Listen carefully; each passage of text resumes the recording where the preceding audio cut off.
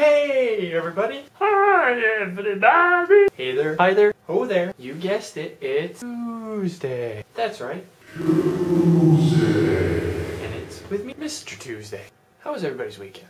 Fun? If you want, you can tell me about it. Leave a comment. So, thanks to the wonderful response, we got over 200 views. I don't know if that's just from watching or because y'all wanted to see my tattoo.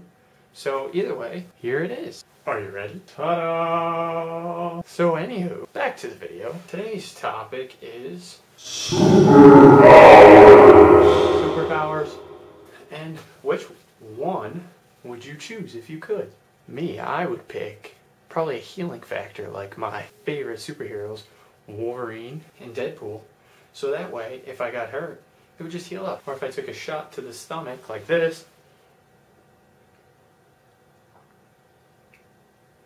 it would just heal up like that. Also, I can enjoy the benefits of not growing old, which would mean I'd stay young forever, forever young.